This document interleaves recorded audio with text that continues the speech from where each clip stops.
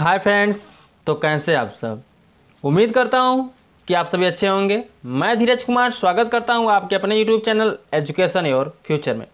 दोस्तों, आज मैं आपके लिए लेके आया प्रश्नावली सिक्स का बी इसका पहला क्वेश्चन क्वेश्चन नंबर वन ठीक है दोस्तों? यदि आपने प्रश्नावली सिक्स का ए नहीं देखा है तो डिस्क्रिप्शन में उसका लिंक दिया गया है, आप वहाँ जाकर देख सकते हैं। तो चलिए सबसे पहले हम देख लेते हैं question number one question number one में क्या बोला है?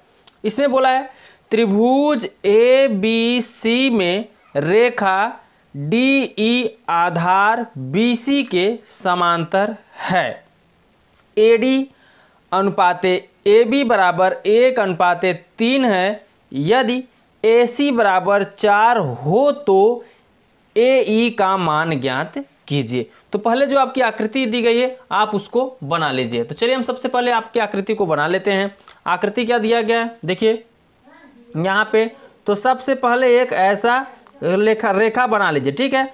अब इस आकृति बनाने के बाद आपको क्या करनी, बीच में एक और, यहाँ पे इसमें दो त्रिभुज दिया गया है, ठीक है? पहला त्रिभुज यहाँ से यहाँ तक हो गया और दूसरा त्रिभुज ये पूरा हो गया, ठीक है? तो इसमें पूरी आकृति दी गई है। आकृति का जो ये भुजाएँ हैं, उस भुजाओं को मान लीजिए, ये पहली, ये ए है, ये बी है, ये आपका क्या है? सी ठीक है? और ये क्या है आपका? डी है और ये ई है, ठीक है? ये समरूपता के नियम को फॉलो करता है। समरूपता यदि आपने नहीं पढ़ा है तो हमने प्रश्नावली सिक्स के बारे में बहुत डीपली बताया है दोस्तों। डिस्क्रिप्शन में उसका भी लिंक दिया गया है, आप उसको भी जाकर वहाँ से देख लीजिए, ठीक है? तो इसमें दो ये आपका संरचना हो गया। अब संरचना में जो जो मान दिया गया है मतलब जो प्रश्न में दिया गया मान, उसको लिख लीजिए, उसके बाद संरचना द्वारा उसको हम हल कर लेंगे, ठीक है? तो पहले क्या क्या दिया है हम उसको लिख लेते हैं, ठीक है? यहाँ लिखिए दिया है। ठीक है? क्या दिया है? देखिए, पहले बोला है डी ई आधार बी सी के समांतर है, ठीक है? उसके बाद ए डी अनुपाते ए बी क्या दिया दोस्तों? ए डी अनुपाते, यहाँ पे अनुपात ए बी ठीक है? ए डी अनुपाते ए बी बराबर एक अनुपात तीन दिया। ठीक है? ये दिया है, यदि ए सी बराबर चार हो, क्या हो? ए सी बराबर चार हो तो ए ई का मान ज्ञात कीजिए। यहाँ ए ई का आपको मान ज्ञात करना है। तो क्वेश्चन मार्क लगा दीजिए, ठीक है? अब क्या करना है? चलिए देखिए दोस्तों, जो जो मान दिया गया हमने तो उसको लिख लिया है, ठीक है? अब आपको क्या करना है? देखिए, ये आकृति द्वारा हम इसको हल करेंगे, ठीक? अब आकृति जैसा बोल रहा है, वैसा आप हल करिए। एक बात और ध्यान दीजिए दोस्तों, इसमें दो त्रिभुज बन रहे हैं। पहला त्रिभुज बन रहा है ए डी ई दूसरा त्रिभुज बन रहा है ए बी सी ठीक है? तो अर्थात हम कह सकते हैं, जब, क्या? जब त्रिभुज ए, बी, सी, या त्रिभुज ए, डी, ई, ठीक है, लिखिए त्रिभुज ए, डी, ई, ठीक है? ए, डी, ई समरूप हो, क्या हो? इसको हम समरूप बोलते हैं, ठीक है? ये ऐसे थोड़ा करके ऐसे उठा दीजिए ऊपर। समरूप हो किसके? त्रिभुज ए, बी, सी के। किसके? ए बी सी के तब आप क्या करेंगे? ठीक है, ध्यान दीजिएगा। जब त्रिभुज ए डी ई हमने यहाँ पे लिखा, फिर समरूप हो किसके? ए बी सी यानी समरूप का मतलब होता है समान रूप। इनका जो होगा सचेहरा जो है इसका इसकी आकृति जो होगी, इसकी मेन मिलाप जो होगी, वो क्या होगी दोस्तों? समान। देखिए, एक त्रिभुज ये भी है। तो त्रिभुज में क्या होता है? तीनों कोणों का मान 180 अंशों का, चाहे छोटा हो त्रिभुज, चाहे बड़ा हो। लेकिन त्रिभुज में तीनों कोणों का एक सौ क्या होता है? अस्सी अंश है। तो इनकी जो आकृति है, आपस में क्या है ये? समान है। ठीक है? अब आपको क्या करना है? जब समान है तो जो छोटी भुजा है, उसको आपको ऊपर लिखना है। जो बड़ी भुजा है, उसको आपको क्या करना है? नीचे लिखना है। ठीक है? नहीं समझे? चलिए समझाते हैं। देखिए, ये जो ए और क्या है? डी ये छोटी त्रिभुज है। तो छोटी त्रिभुज की जो भुजाएँ हैं, उसको हम कहाँ लिखेंगे? ऊपर, यानी क्या लिखेंगे? ए डी क्या है? ए डी उसके बाद नीचे क्या लिखेंगे? बड़ी त्रिभुज की भुजा। किसकी? बड़ी त्रिभुज की भुजा क्या होगी? ए बी पहली भुजा क्या होगी? ए बी तो इसको हम लिख लेंगे ए बी अब बराबर लगाएँगे, ठीक है? अब हम दूसरी भुजाओं पर चलते हैं। तो छोटी त्रिभुज की दूसरी भुजा क्या है? ए ई क्या है? ए ई यही है ना? तो इसको लिख लीजिए। ए ई फिर अपान कर दीजिए। अपान में क्या बड़ी भुजा क्या? बड़ी भुज, त्रिभुज की भुजा क्या है? ए सी ध्यान दीजिए। ए सी तो नीचे लिखिए ए सी अब ध्यान दीजिए। हमें भुजाएँ मिल गई। अब जब भुजाएँ मिल गई तो भुजाओं का मान भी दिया गया। देखिए ए डी का मान दिया है। ए बी का मान दिया है। ए ई का पूछा है ए सी का दिया है। जो भुजा दिया रहेगा, उस भुजाओं को हम लेकर हल कर लेंगे। ठीक है? अब चलिए हम मान को रखकर हल कर लेते हैं। तो ए डी ए डी अनुपात ए बी तो जो पहला मान है ए का ए डी का है, दूसरा मान जो है, किसका है? ए बी का है। ठीक है? क्योंकि दोनों ही अनुपात में हैं। तो ए डी ए डी का मान कितना होगा? एक। तो ऊपर हम रखेंगे एक, नीचे क्या है? ए बी तो ए बी का मान कितना होगा? तीन। ये जो पहला मान है, वो किसका है? ए डी का दूसरा मान जो है किसका है? ए बी का, ठीक है? तो जो ए बी का मान है वो कितना है? तीन तो यहाँ पे हम रख देंगे तीन बराबर ए ई ए ई का मान आपसे पूछा है तो ए ई को आपको ऐसे ही लिख देना है, बटे ए सी तो ए सी का मान कितना दिया दोस्तों यहाँ पे? चार। तो आपको यहाँ पे लिख देना है चार, ठीक है? अब क्या करना है? इसका गुड़ा कर लीजिए, ठीक? ध्यान दीजिए, अगर हम इसका यहाँ गुड़ा कर दें, इसका यहाँ गुड़ा कर। तो तीन का ए ई में करेंगे तो क्या निकलेगा? तीन ए ई ठीक है? बराबर चार एक का चार। यहाँ पे कितना निकल गया? चार एक का चार। अब आपको किसका मान निकालना है? ए ई का। तो जब आप ए ई का मान निकालेंगे तो तीन कहाँ चला जाएगा? बटे में। तो चार बटे निकल जाएगा आपका तीन। ए का मान आपसे पूछा तो ए का मान यहाँ पे निकल गया। यही आपका क्या हो जाएगा? आंसर हो जाएगा। ठीक है? इसी को आपको क्या कर देना है? आंसर कर देना है। समझ में आया कैसे होगा? एकदम सिंपल सा फंडा है दोस्तों। जब भी ऐसा आपसे पूछा जाए, कोई मान दिया रहे तो ऐसी आकृति दी रही, कोई मान दिया रहे, कोई मान पूछे तो आपको क्या करना है? छोटी भुजाओं को ऊपर लिखना है, बड़ी भुजा को नीचे लिखना है, ठीक है? और जो मान दिया रहेगा उसको रखकर आंसर को आसानी से निकाल लेना है, ठीक है? तो चलिए दोस्तों, अब हम नेक्स्ट क्वेश्चन की तरफ़ चलते हैं। Question number two.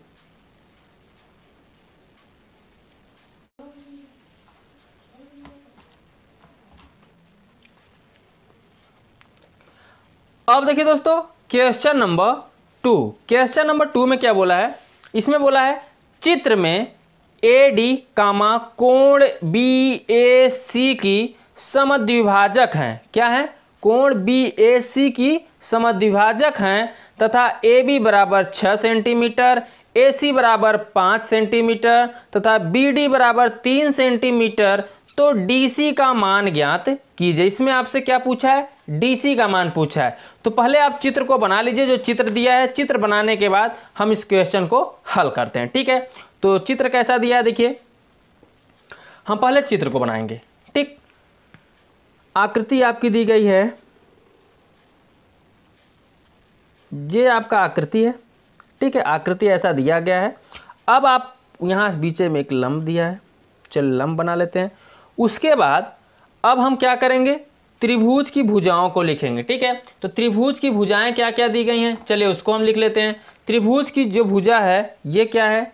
ए है, ये आपकी बी है, ये आपका सी है और ये कितना है? डी है, ठीक है? अब भुजा लिखने के बाद इसकी कुछ माप दी गई है, ठीक? माप क्या दी गई है? यहाँ ए बी से बी ए बी की दूरी कितनी दी गई है? छः सेंटीमीटर। कितना दिया गया है? छः सेंटीमीटर। और ये कितना दिया गया बी डी बी डी जो दिया गया है वो तीन सेंटीमीटर कितना दिया गया है यहाँ से यहाँ तक? तीन सेंटीमीटर और यहाँ से यहाँ तक छः सेंटीमीटर और ये जो ए सी है, जो ए सी कितना सेंटीमीटर है? पाँच सेंटीमीटर ठीक है? यहाँ से जो दूरी दी गई है, ये पाँच सेंटीमीटर ये आपकी आकृति दी गई। अब हम इस आकृति को हल करेंगे। आकृति का सभी मान रखकर यहाँ से किसका मान पूछा है आपका? डी सी ये मान दिया, ये भी दिया, ये भी दिया, लेकिन यहाँ से यहाँ तक आपकी दूरी पूछी है डी सी का मान ज्ञात करना है। तो डी सी का मान कैसे ज्ञात करेंगे दोस्तों? चलिए हम हल करते हैं। तो पहले जो दिया है उसको आप लिख लीजिए। यहाँ लिखिए दिया है। जो जो दिया है उसको आप लिख लीजिए। तो दिया क्या क्या है? आपका दिया ए बी देखिए यहाँ से ए बी तो ए बी बराबर कितना दिया है? छः सेंटीमीटर। तो यहाँ लिखिए ए बी बराबर छः सेंटीमीटर। ठीक है? तो यहाँ आप लिखिए ए बी बराबर छ सेंटीमीटर। ठीक, आगे क्या दिया है? ए सी। क्या दिया है? ए सी। ए सी दिया है आपका पाँच सेंटीमीटर तो ए सी भी लिख लीजिए। ए सी बराबर पाँच सेंटीमीटर। ठीक है, ए सी हमने लिख दिया। अब आपका दिया है बी डी। बी डी कितना दिया है? तीन सेंटीमीटर। तो यहाँ लिखिए बी डी। बी डी बराबर तीन सेंटीमीटर। ठीक है बी डी बराबर कितना लिख दिया? तीन सेंटीमीटर। अब आपसे पूछा क्या है? डी सी तो यहाँ डी सी के बराबर आपको लगा देना है क्वेश्चन मार्क क्योंकि आपसे डी सी पूछा है। अब कैसे हल करेंगे? ध्यान दीजिए। इसमें भी त्रिभुज, हमने बताया दोस्तों, इस देखिए समरूप आकृति ले रहा है। देखिए, ये त्रिभुज एक है एक त्रिभुज ये है। तो त्रिभुज हमेशा जो होते हैं वो किसमें होते हैं? एक समकोण, ये देखिए, एक समकोण त्रिभुज की आकृति बन रहा है। तो ये एक समरूप में है। समरूप में क्या होता है? भुजाएँ आपस में उसको हम क्या लेते हैं? बराबर में लेते हैं बट्टे में। कैसे हल करेंगे? ध्यान दीजिए। जब त्रिभुज क्या हो? समरूप हो। तो कैसे हल करते हैं? आगे देखिए, हम बताते हैं। ठीक है? तो यहाँ लिखिए, जब पहला त्रिभुज क्या है आपका? पहला त्रिभुज है ए बी डी यहाँ लिखिए, त्रिभुज ए बी, डी। ठीक है? क्या हो? समरूप हो। इसको हम क्या बोलते हैं? समरूप। ठीक है? ए, बी, डी समरूप हो किसके? ए, डी, सी के। त्रिभुज ए, डी, सी के। तो यहाँ लिखिए त्रिभुज ए, डी, सी के। तब हम क्या करेंगे? ध्यान दीजिए। तब आपको क्या करना होगा? जब त्रिभुज ए बी डी समरूप हो, त्रिभुज ए डी सी के, तब आपको क्या करना है? देखिए, हम ए बी ये बड़ी, ये भुजा लेंगे। ए बी के हम बट्टे में क्या ले लेंगे? बी डी इस तरफ़ लेंगे, ठीक है? फिर इसके बाद ए सी ले लेंगे और बी डी सी ले लेंगे। क्योंकि डी सी का मान पूछा है ए सी दिया है और ए बी भी दिया है बी सी तो आराम से इसका मान हम निकाल सकते हैं, ठीक है? तो आप क्या लिखेंगे यहाँ पे? ए बी क्या लिखेंगे? ए बी तो ऊपर लिख दीजिए आप ए बी अपान। नीचे क्या लिखेंगे? बी डी ठीक है? क्या लिखेंगे? बी डी बी डी लिखने के बाद आपको बराबर लिख देना है। बराबर करने के बाद दूसरे त्रिभुज का लिख लीजिए, पहली भुज, बड़ी भुजा। तो इसका पहला भुजा क्या है? ए सी तो यहाँ लिखिए ए सी और आपसे पूछा क्या है? डी सी तो यहाँ लिख दीजिए आप डी सी ठीक है? क्योंकि ये भुजा ये भुजा ये भुजा सब आपस में क्या है? समरूप है, ठीक है? अब ये त्रिभुज जो है समरूप है तो समरूप का जब आप दिया रहे, कोई त्रिभुज समरूप के रूप में दिया रहे तो आप ऐसे बना लिया करिए, ठीक है? बनाने के बाद आपको जो जो मान दिया है उसमें रख देना है। तो चलिए हम मान को अब क्या करते हैं? रख देते हैं। तो देखिए, ए बी ए बी का मान दिया है छः सेंटीमीटर तो यहाँ ऊपर रखेंगे छः बी, डी। तो बी डी बराबर कितना दिया है? तीन तो यहाँ रखेंगे हम तीन बराबर ए सी ए सी बराबर कितना दिया है दोस्तों? पाँच। और नीचे कितना है? डी सी तो डी सी आपसे पूछा है डी सी को आपको ऐसे ही लिख देना है। ठीक है? अब इसमें क्या करना है? ध्यान दीजिए। आपको देखिए, कट जाएगा। तीन दूनी छ। कितना हो जाएगा? तीन दूनी छ। आपको निकालना क्या है? डी सी तो डी सी निकालेंगे। डी सी यहाँ जाएगा। दो कहाँ जाएगा? यहाँ पे। तो डी सी बराबर जब निकालेंगे तो पाँच बटे कितना हो जाएगा? दो। पाँच बटे दो सेंटीमीटर। आप यहाँ आंसर करना चाहे तो यहाँ पर आंसर कर दीजिए, या दो से पाँच को काट दीजिए। तो डी सी बराबर क्या निकलेगा? दो दूनी चार बचेगा एक, दो दशमलव कितना हो जाएगा? पाँच। दो से पाँच में भाग देंगे तो दो दशमलव पाँच सेंटीमीटर आपका ये आंसर निकल आएगा। जो यहाँ से यहाँ तक की दूरी निकलेगी, वो कितने निकलेगी? दो दशमलव पाँच सेंटीमीटर। यही आपका क्या हो जाएगा? आंसर हो जाएगा। ठीक है? इसी को आपको कर देना है आंसर समझ में आया दोस्तों? तो चलिए अब हम नेक्स्ट क्वेश्चन की तरफ़ चलते हैं। क्वेश्चन नंबर थ्री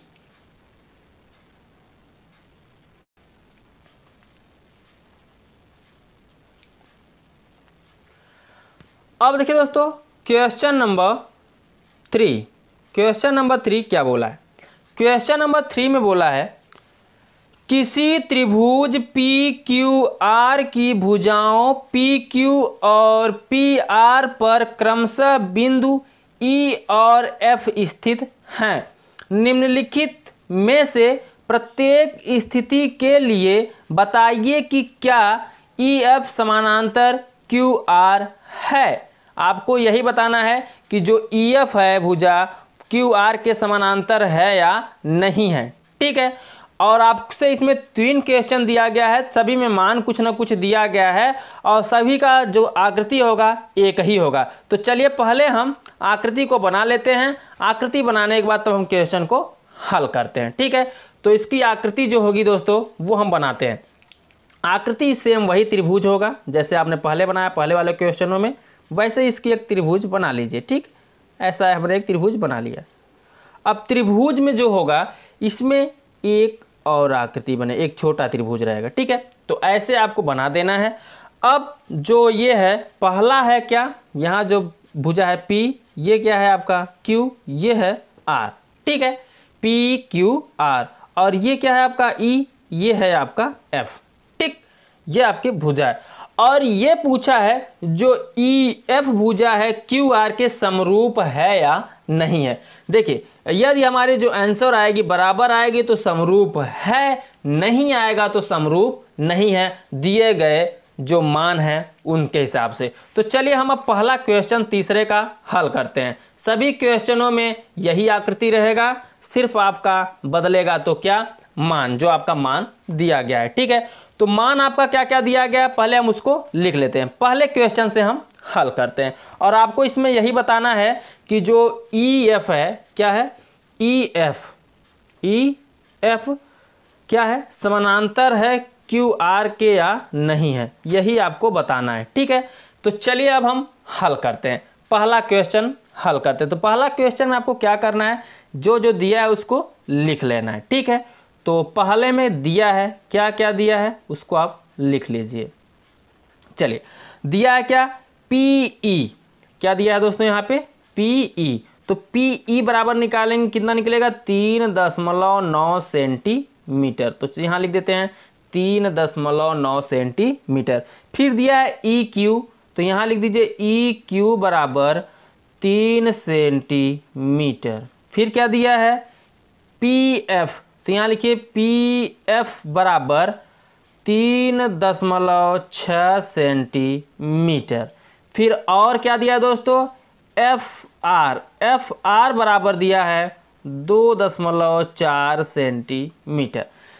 जो जो आपको दिया था, हमने इस क्वेश्चन में दिया है, वो हमने लिख दिया। अब आपको करना क्या है? ये बताना है जो ई एफ़ भुजा है क्यू आर के समानांतर है या नहीं है। तो कैसे हल करेंगे? चलिए, देखिए। अब अब बता रहे समरूपता का रूल फॉलो करेगा। अभी जैसे हमने इसके पहले बताया पहले वाले क्वेश्चन में, वैसा इसमें भी होगा। तो समरूपता के रूल में हम क्या करते हैं? लिखते क्या हैं? जब त्रिभुज पी ई एफ़ ठीक है? यहाँ लिख दीजिए आप। पहला छोटा त्रिभुज लिखेंगे, उसके बाद बड़ा। जब त्रिभुज, क्या? P E F P E F समरूप हो, त्रिभुज पी क्यू आर के ठीक है? तब आप क्या करेंगे? चलिए ध्यान दीजिए। जब त्रिभुज पी ई एफ़ समरूप हो, त्रिभुज पी क्यू आर के, तब आप क्या करेंगे? सबसे पहले छोटी भुजा। तो छोटी भुजा क्या है? पी ई ठीक है? तो ऊपर क्या लिखेंगे आप? P E upon. नीचे क्या लिखेंगे? ई क्यू ठीक है? बड़ी भुजा। यहाँ इसकी लिखिए, दूसरी। नीचे लिखिए ई क्यू ठीक है? क्योंकि हमको क्या ज्ञात करना है, ये एक दूसरे के समरूप है या नहीं। जब समरूप की बात कर देगा तो पहले पी ई लिखिए, फिर यहाँ से ई क्यू लिख लीजिए। उसके बाद बराबर सम, ठीक, लगाइए, ठीक है? अब क्या है? पी एफ़ यहाँ लिखिए पी एफ़ अपान, फिर क्या होगा? एफ़ आर ठीक है? क्योंकि इसी रूप में मान दिया, इसलिए हम इस रूप में लिख रहे हैं, ठीक है? अब एफ़ आर रखने के बाद आपको क्या करना है? इतना आप जब कर लेंगे तो जो मान दिया है, उसको आपको इसमें लिख देना है। तो चलिए देखिए यहाँ पे पीई पीई का मान दिया है तीन दशमलव नौ बटे ई क्यू ई की ई क्यू का मान दिया है तीन बराबर। देखिए, तीन दशमलव नौ बटे दिया है तीन बराबर पी एफ़ तो पी एफ़ का मान दिया है तीन दशमलव छ बटे अब आपको, आप सिर्फ़ यहाँ क्या दिया है? एफ़ आर तो एफ़ आर का मान दिया है दो दशमलव चार बटे। समरूपता में हम उसी के आधार पर मान रखेंगे जिस रूप में मान दिया रहेगा। जैसे आपको पी ई e देकर फिर पी क्यू देगा तो आपको ऊपर पी ई e रखना है तो फिर नीचे पी क्यू रखना है। यदि आपको पी ई e देकर ई क्यू देख रहा है तो इसको ऊपर रखे फिर इसको नीचे रखिए। इस तरीके से आपको क्वेश्चन को हल करना है, ठीक है? उसके बाद अब आपको क्या करना है? ध्यान दीजिए, काट देना है। तीन से काटेंगे इसको तो तीन एक का तीन और तीन त्रिक्का नौ बीच में दशमलव था बीस में दशमलव लगा दीजिए। इसको काटेंगे तो क्या आएगा? दशमलव दशमलव कट जाएगा क्योंकि दो अंक पे, यहाँ एक अंक पे दशमलव यहाँ भी एक अंक पे दशमलव यहाँ भी है। तो इसको काटे बारह दूना चौबीस और बारह तीन यहाँ छत्तीस। और तीन में जब दो से भाग करेंगे, तब कितना आएगा? तो दो एक का दो बचेगा, यहाँ पे एक दशमलव लगेगा दो पंचे दस। तो यहाँ देखिए एक दशमलव तीन आया, इधर एक दशमलव पाँच आया तो ये इक्वल नहीं आया, नॉट इक्वल है। जब इक्वल नहीं है तो हम क्या कह सकते हैं? जो ई e, एफ़ भुजा है वो क्यू आर के समान समांतर नहीं है। या समानांतर नहीं है। ठीक है इसके समान नहीं है। तो आप लिख दीजिए अतः अतः जो ई e क्यू भुजा है सॉरी ई एफ़ भुजा है ई e एफ़ भुजा क्या क्यू आर ना? क्यू आर के समांतर नहीं है। ठीक है दोस्तों तो यही आपका क्या हो जाएगा? आंसर हो जाएगा। इसी रूप में आपको करना था। यदि आप का ये बराबर आ जाएगा यहाँ हल करने पे तो समांतर है। बराबर नहीं आएगा तो समांतर नहीं है। तो चलिए दोस्तों, हम दूसरे के तीसरे के दूसरे क्वेश्चन पे चलते हैं। ठीक है? तो चलिए देख लेते हैं अब तीसरे का दूसरा।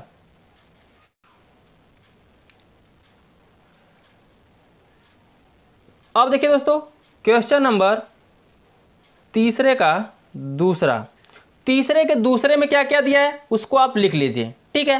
तो तीसरे के दूसरे में दिया है आपका पी ई बराबर फोर सेंटीमीटर चलिए हम पहले लिख लेते हैं ठीक है? और इसमें भी आपको समानांतर है या क्या है या नहीं यही सिद्ध करना है। तो क्या सिद्ध करना है? ई e, एफ़ यही लाना है समानांतर है या नहीं है? तो यही आपको बताना है ई e, एफ़ समानांतर क्यू आर, ठीक है? और जो आपका फिगर दिया, उसको भी बना लीजिए। सभी में फिगर वही रहेगा, जो पहले में था, दूसरे में भी वही रहेगा, और तीसरे में भी वही रहेगा। तो चलिए हम इस आकृति को बना लेते हैं, ठीक है? आकृति को बनाने के बाद इसके हम भुजाओं को लिख देते हैं। तो ये ए हो जाएगा, या तो पी कर दीजिए पी के रूप में दिया है, यहाँ पे पी लिख दीजिए, इसको क्यू कर दीजिए, इसको आर कर दीजिए, इसको ई e कर दीजिए, और इसको क्या कर देना है?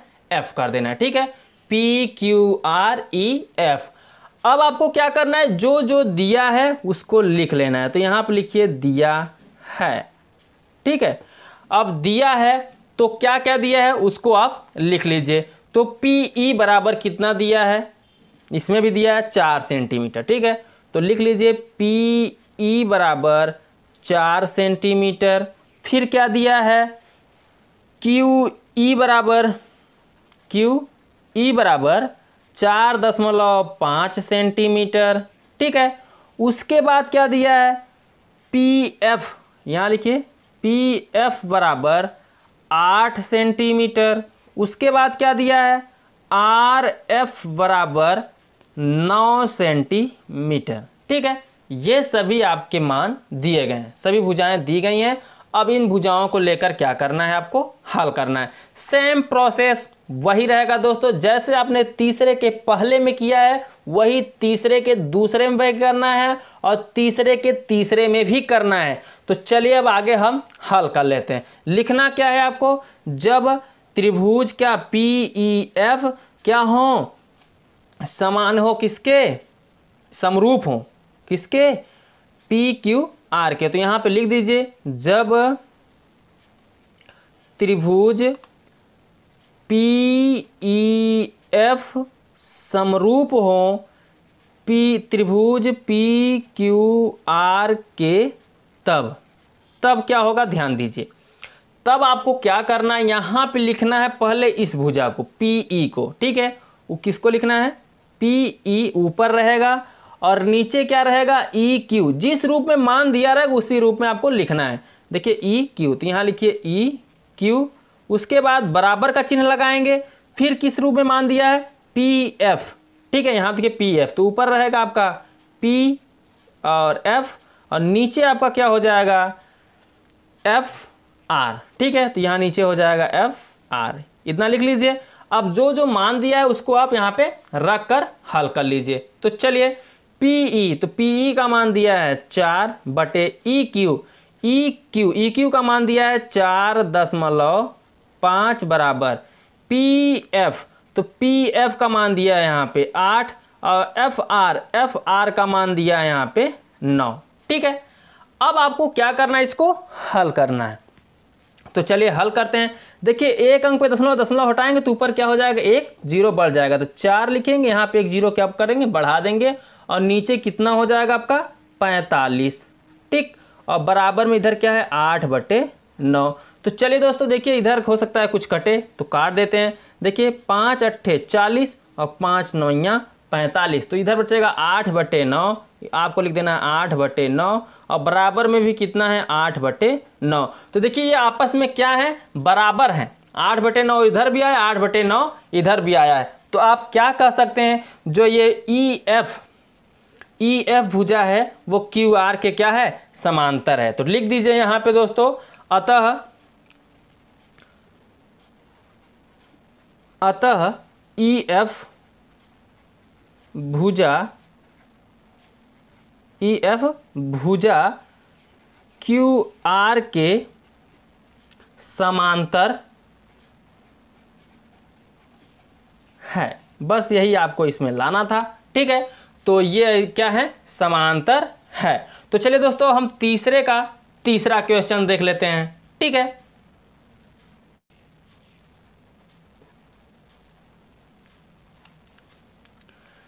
अब देखिए दोस्तों क्वेश्चन नंबर तीसरे का तीसरा।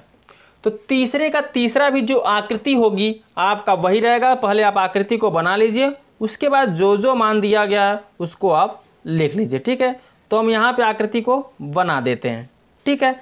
आकृति की सभी भुजाओं को भी लिख देते हैं। भुजा क्या है आपका? ये है पी ये है क्यू ये है आर ये है आपका ई e, ये क्या है एफ़ ठीक है? ये आपकी आकृति है। अब आकृति बनाने के बाद जो जो मान दिया है, उसको हम लिख लेते हैं। तो यहाँ आप लिखे दोस्तों, दिया है। क्या क्या दिया है, उसको हम लिख लेते हैं। तीसरे के, तीसरे क्वेश्चन में, ठीक है? तो इसमें दिया क्या है पी क्यू पहला क्या दिया है यहाँ पे?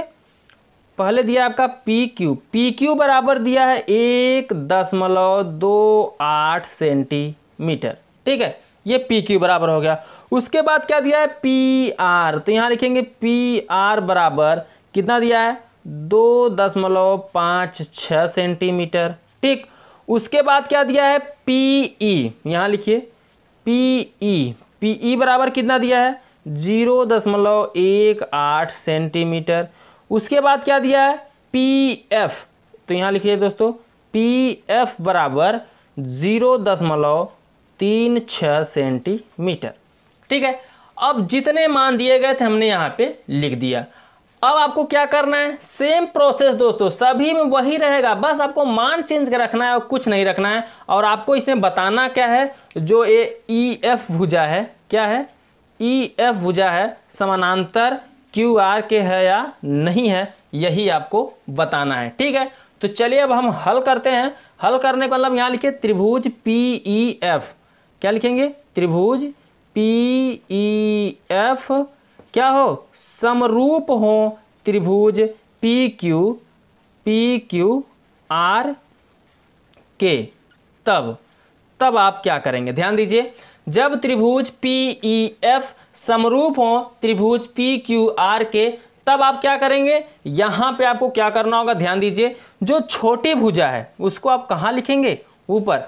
तो देखिए, ये क्या है? P, E. इसको कहाँ लिखना है आपको? ऊपर। तो जैसा मान दिया रहेगा उसी रूप में लिखना, ना कि जैसे दूसरा कुछ लिख देना है। जैसे पी पीई दिया है तो आप पी पीई लिखिए, फिर ई क्यू मत लिखिए। जैसे अब यहाँ देखिए ई क्यू के रूप में मान नहीं दिया है। यहाँ फिर दिया है पी क्यू के रूप में मान। तो आप पी क्यू लिखिए, ठीक है? समरूप बनाइए आप। उसका रूप समान, जैसे रूप, जिस रूप में दिया, उसी रूप में आप हल करिए, ठीक है? तो यहाँ लिखिए पीई पीई का मान दिया है? जी हाँ। तो पीई को ऊपर लिख लीजिए। P E upon. ठीक है? उसके बाद अब ई e क्यू मत लिखिए, क्योंकि ई e क्यू का मान नहीं दिया है। फिर पी क्यू दिया है तो आप पी क्यू ही लिखिए नीचे। ठीक है? और बराबर लगाइए, उसके बाद क्या लिखेंगे? पी एफ़ तो पी एफ़ का मान दिया तो ऊपर लिखिए पी एफ़ ठीक है? पी एफ़ अब पी एफ़ लिखने के बाद नीचे फिर क्या लिखेंगे? ध्यान दीजिए तो नीचे जो आपका मान होगा, वो यहाँ से पी और आर का होगा, क्योंकि दूसरा जो है हम इसमें इस तरफ़ लिए थे, वो पूरा लिए थे तो इस तरफ़ भी नीचे पूरा लिया जाएगा तो पी आर और पी आर का मान दिया है दो दशमलव पाँच छः तो यहाँ लिख दीजिए पी आर लिख दिए, अब पीई तो पीई का मान कितना दिया है? ज़ीरो दशमलव एक आठ बटे पी क्यू तो पी क्यू का मान जो दिया गया है आपका, एक दशमलव दो आठ बराबर पी एफ़ तो पी एफ़ का मान जो दिया गया, कितना दिया गया? ज़ीरो दशमलव तीन छ बटे पी आर तो पी आर का मान कितना है? दो दशमलव पाँच छ ठीक है? इतना करने के बाद अब आपको क्या करना है? देखिए दशमलव के बाद दो अंक है, यहाँ भी दशमलव के बाद दो अंक है। दशमलव के बाद दशमलव दशमलव क्या हो जाएगा तब? कट जाएगा। यहाँ भी दशमलव के बाद दो अंक है दशमलव से दशमलव क्या हो जाएगा? कट जाएगा। ठीक है? जब दशमलव अंक बराबर दिखे ऊपर नीचे तो हमेशा दशमलव से दशमलव को क्या करना चाहिए? काट देना चाहिए। तो बचेगा ऊपर क्या? ऊपर हो जाएगा आपका अट्ठारह नीचे कितना बचेगा? एक सौ अट्ठाईस। फिर बराबर में इधर कितना ऊपर बचेगा? छत्तीस। और नीचे कितना बचेगा? दो सौ छप्पन। ठीक है? चलिए अब उसको हम हल कर लेते हैं। अब देखिए, ये दो से कटेगा। दो नवा अट्ठारह। और दो से काटेंगे, दो छंग बारह, दो चौके आठ। तो ऊपर कितना हो जाएगा? नौ। और नीचे कितना हो जाएगा? चौंसठ। इतना समझ आया? फिर बराबर का चिन्ह लगाइए। इधर कितना है? ये देखिए, चार नौ छत्तीस और चार से काटेंगे, चार छंग चौबीस, एक बचेगा चार चौके सोलह। तो ऊपर कितना बचा? नौ और नीचे कितना बचा? चौंसठ। तो इधर भी नौ बटा चौंसठ, इधर भी कितना आ गया? नौ बटे चौंसठ। दोनों तरफ़ नौ बटे नौ बटे चौंसठ, नौ बटे चौंसठ आया है।